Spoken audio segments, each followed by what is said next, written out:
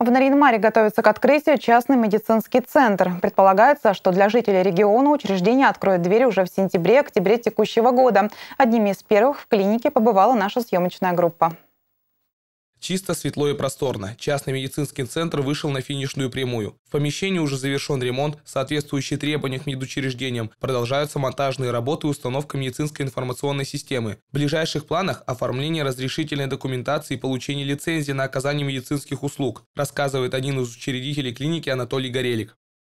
Спектр услуг будет входить как э, проведение медицинских осмотров для всех категорий граждан, так и консультации специалистов таких как э, терапевт, эндокринолог, хирург, кардиолог и многие другие.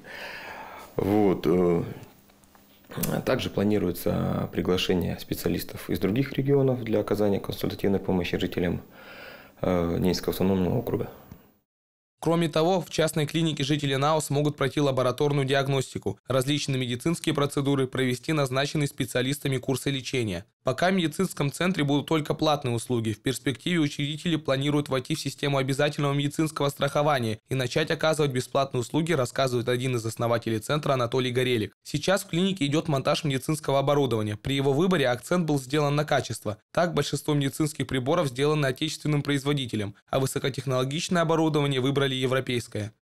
Европейское высокотехнологичное оборудование, в частности ультразвуки, значит, э офтальмологическое оборудование, а, значит, лаборатория и, наверное, гинекология.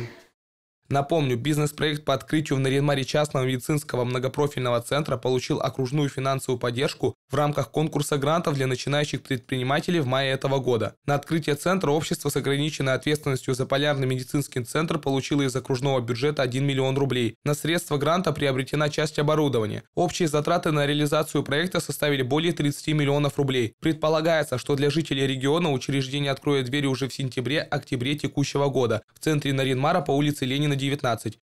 Дмитрий Марков, Антон Выдряков, телеканал «Север».